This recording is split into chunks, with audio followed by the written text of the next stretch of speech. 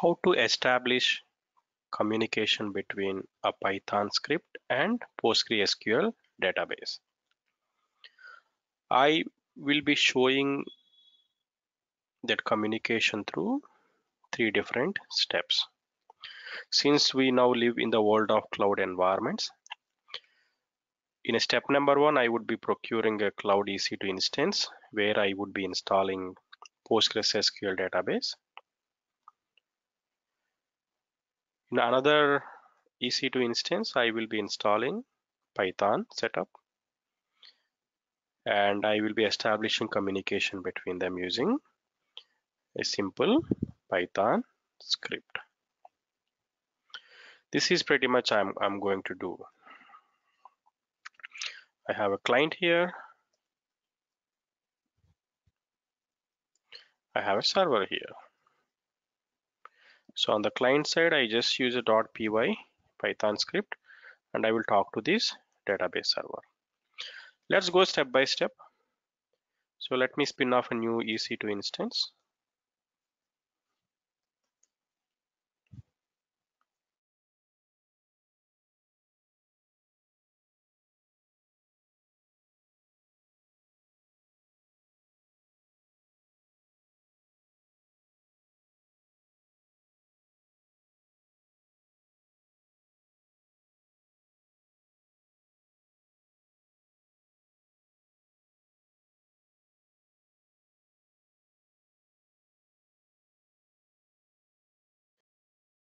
I will be sharing these running notes as part of my notes section. You will find a link using which you can uh, simply download. In step number one, we are doing a database setup quickly. I would blindly follow the steps mentioned here. Let me first spin off an EC2 instance.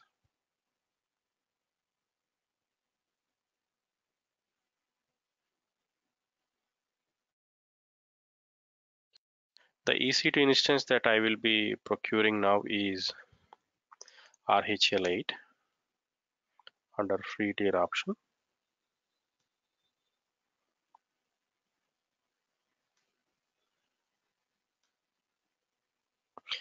Uh, please understand the objective of this session is not to help you understand how to procure a EC2 instance that is covered as part of uh, previous recordings.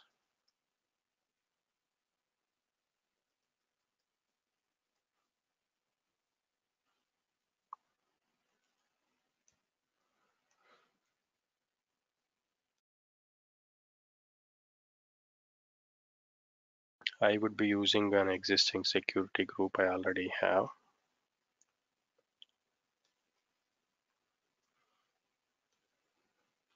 And I'm using an existing uh, key pair, which I already have a private key on my laptop.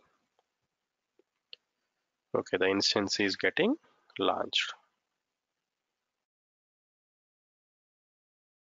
So let me procure another instance for application server.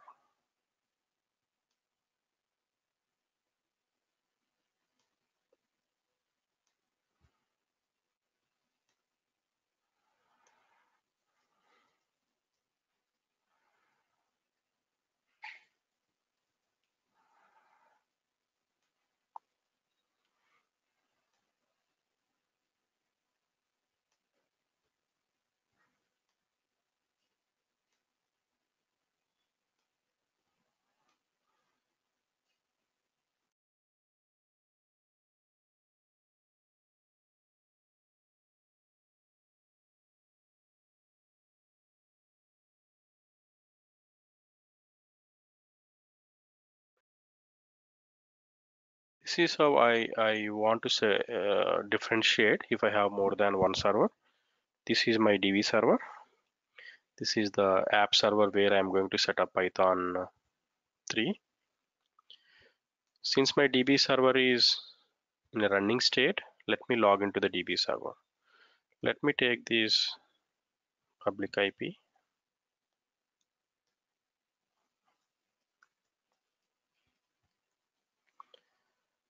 my private key is here.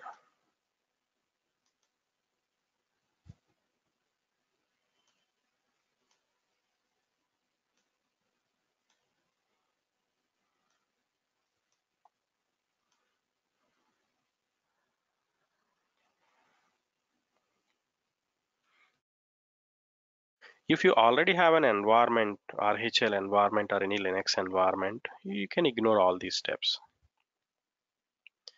So then you can directly start with PostgreSQL database server setup. But before I use this command, let me show you the version we got.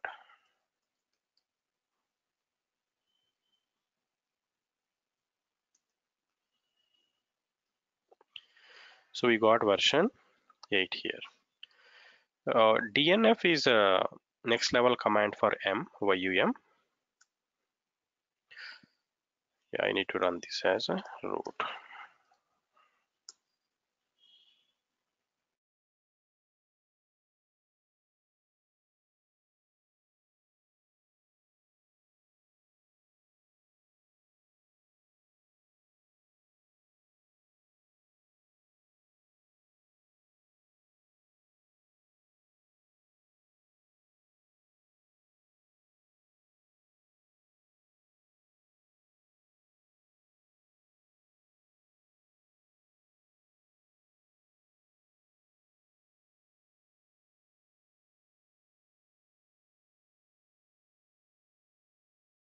Here through this step, I am initializing the database cluster.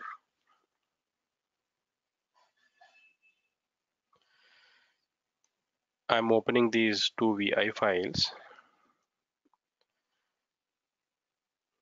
This will help me to enable my localhost if I search for it. There is a detailed recording on this uh, in, in, my one of my previous recordings. So I'm I'm going little uh, faster here. I'm enabling this listen address to star and I'm uncommenting this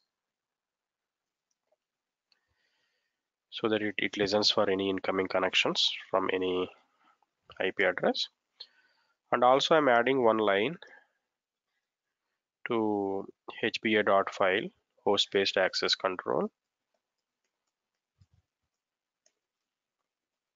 file. So let me enable the service.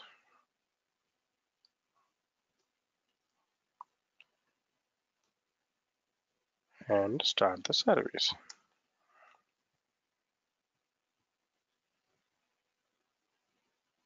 Let's wait.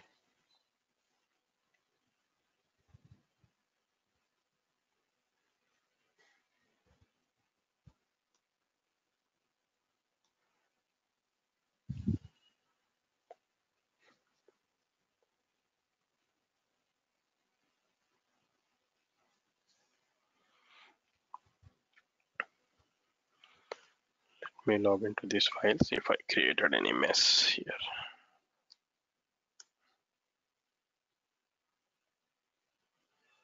Listen addresses is fine.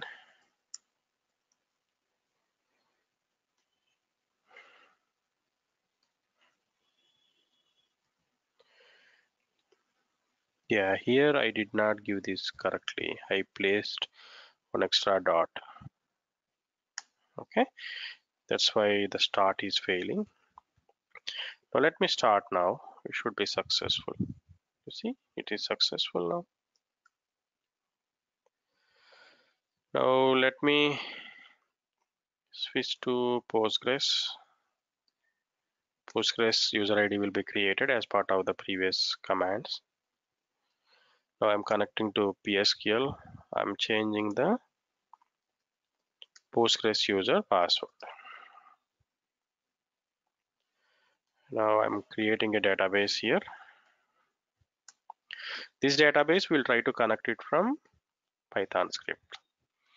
I have here testdb1 created. If I connect to testdb1 if I display tables there are there are no tables here. Through Python script we'll connect to this database and we will create a new table.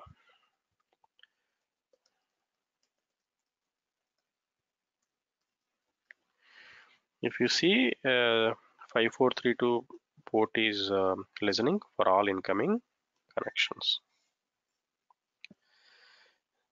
That actually concludes step number one, but let me make a note of these details here because these are the five basic parameters you need to connect to any database server.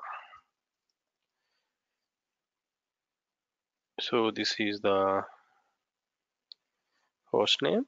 Rest all are same. 5432 testdb1 database, Postgres username, and password.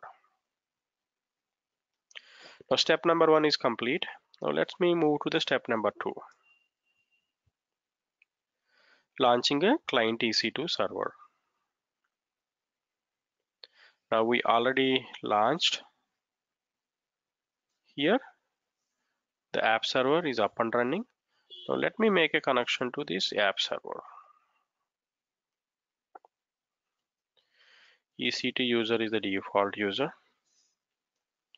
So the respective authentication keys are within this PPK file.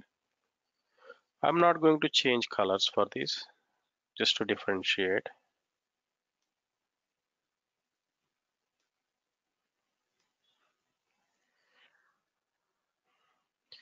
So this uh, back, black background is an app server. Now we are able to successfully log into the app server. Now let's proceed with the next steps.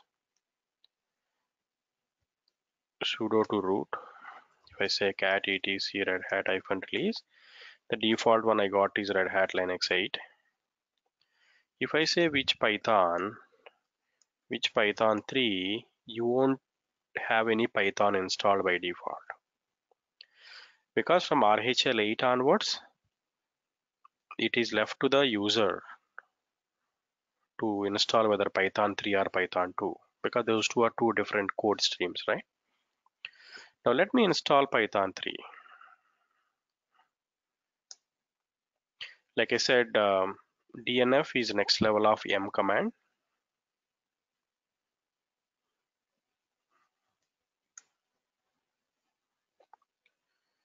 Now if I say which Python 3, I could see this here.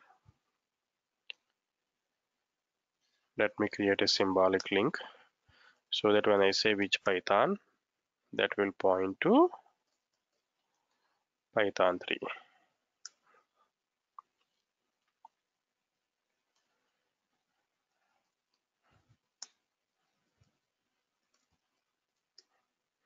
Now let me use this pip3 to install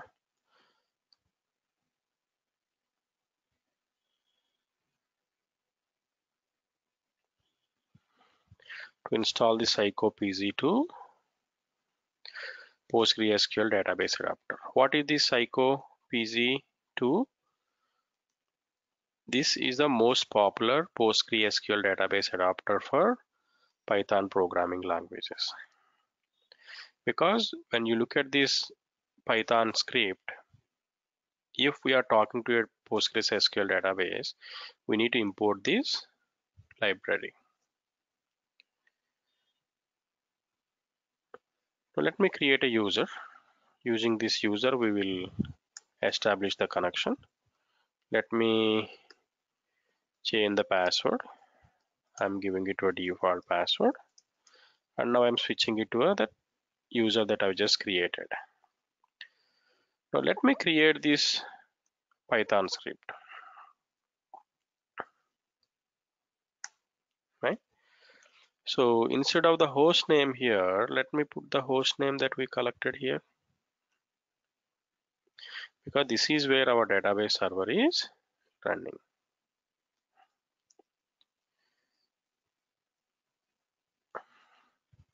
Now if I explain this, we are importing necessary packages and this is the SQL I want to run that is creating table tab 1 with one column. Here I'm establishing a connection with Postgres database using the package that we imported. You know, this this has that respective uh, instructions to connect to the specific database. Maybe you can think it of as a driver, right? If you want to talk to a PostgreSQL database, it's kind of a driver.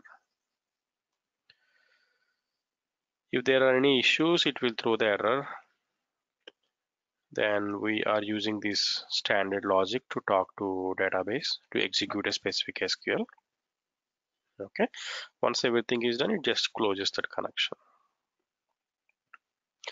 now let me copy this and put it in that file. Like I said this will be shared. These running nodes will be shared. You can download it from notes section of this recording. Remaining all stays same. I'm giving the database name user password. Now if I run this Python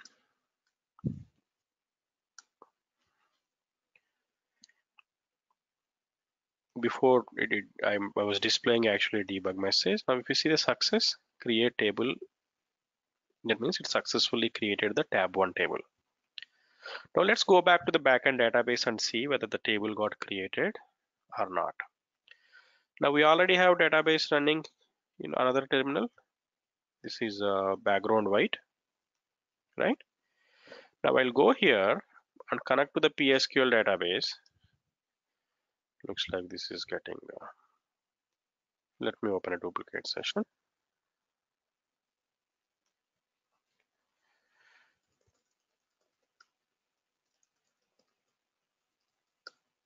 PSQL is interface if I log in.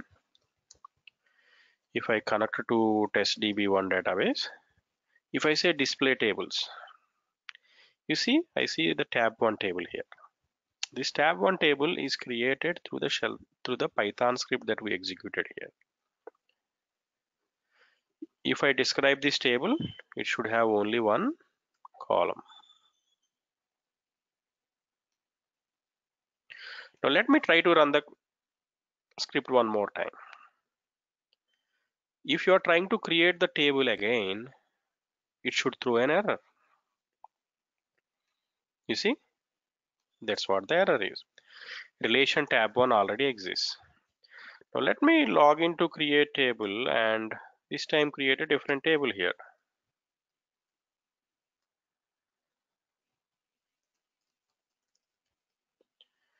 Let's see if it creates the table. This time, if you have observed, I'm creating a tab 2 with two columns. Now let me run the Python script. This time it's a success. Now when you come back here and search for the tables, you should see the table 2 here.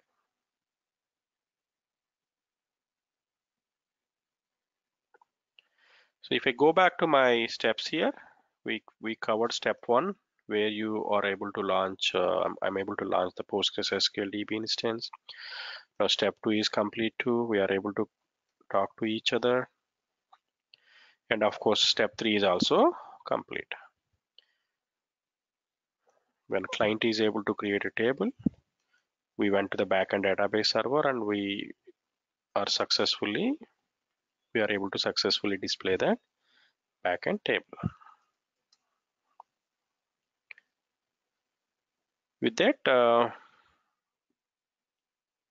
it actually completes the agenda for this presentation. With that, I would conclude this presentation. Thank you for taking time to listen to this. Looking forward to talk to you in the next recording.